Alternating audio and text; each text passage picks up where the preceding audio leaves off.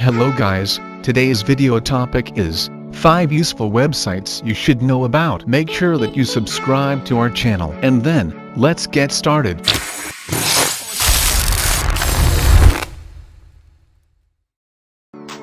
The first one in our list is sxc.hu.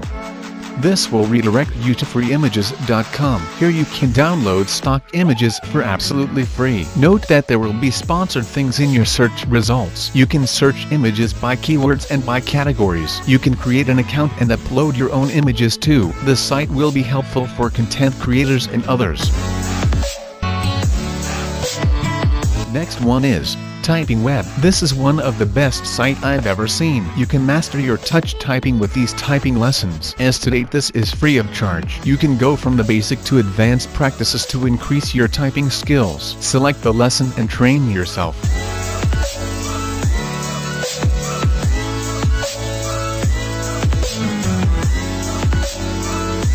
Woorank.com. This is a site that will give information about another website in SEO perspective. With this site you can make your own website SEO friendly and rank higher on search engines. You can get valuable tips to make your site stunning. This will be more helpful for internet entrepreneurs.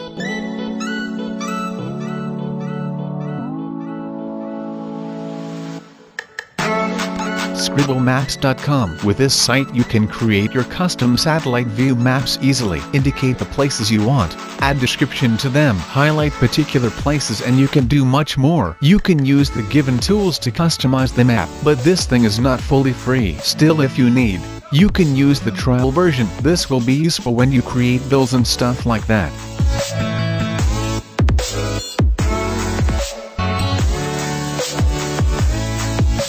Who is hosting this.com. Yeah, that sounds too long. But if you are interested in websites and online related things, you should know this website because this site can give the hosting information of any site you want. You will get the hosting service name, IP address, screenshot of that website and some other server details. If you're willing to build a website, you must visit this site at least once because there are valuable information and user reviews about different hosting companies and you can get discount codes too. So, check it out. That's all for today guys, thanks for watching. Hope this video was helpful. Be sure to leave a thumbs up and subscribe. Peace.